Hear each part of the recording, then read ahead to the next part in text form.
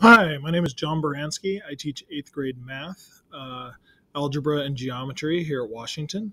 Uh, all three classes are going to be using curriculum through Open Up Resources. Uh, middle school, it's been called Illustrative Mathematics, and in the high school curriculum, we've been using MVP. They're now both under the Open Up Resources banner, but they're pretty much still the same programs although they do have a much better online component so that's good but it's it's essentially the same curricula I've been using. Uh, I know the high school is uh, Olympia is adopting big ideas. I'm going to wait until next year to adopt that because they don't have books or training yet, um, and I'm familiar with MVP. So I'm going to do this one more year before I switch over next year to big ideas.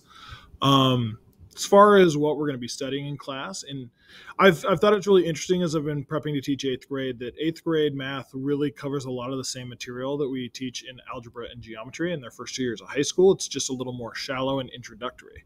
So um, it's really kind of a pre-algebra pre-geometry class and what i think is neat about it is if kids are really successful in there they should be ready for high school math uh, for sure uh, algebra, we focus on kind of relationships with linear, exponential, and quadratic functions, as well as systems of equations, but uh, mostly using graphing, doing story problems, solving those different kinds of functions. Uh, in geometry, we do a lot of work with two and three dimensional figures. We do proofs, we do constructions. Uh, later in the year, we get into trig, trigonometry, and conics. So it kind of then so later on in the year it wraps back around and we do a lot more algebra again which is good getting ready for algebra 2 next year.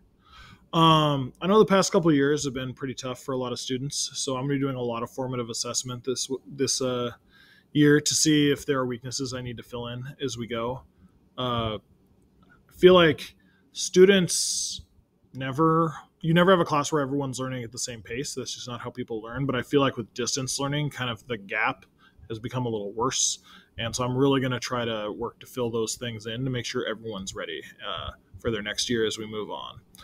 Uh, high school, the high school, or sorry, the high school classes should have about the same amount of homework. Uh, basically, pretty much every day they'll have homework. Most days, high school classes will have homework. Whereas eighth grade, it'll be a few times a week and generally less questions. Uh, the homework grades are based on completion. It is very important that the homework is done. I look at homework as an opportunity for people to make mistakes, so I don't grade it based on like your grade is not how many did you get right, but did you do them all? Did you show work? Do you have explanations? That kind of thing. Um, and then it's on the tests that you need to not make those mistakes. You need to show that you've got, uh, you know, computational fluency, that you understand the concept, that you're accurate, all that. Uh, there are retakes for tests though, so if students uh, have a tough time, they can retake. Uh, I will have a schedule for that. They can generally retake before school or after school. I used to do retakes at lunch. That's not going to happen with the four lunches though. Right now, that's a little wacky. Um, if students have to miss school, they should check Schoology. That's where I post all my assignments and where I have my learning resources.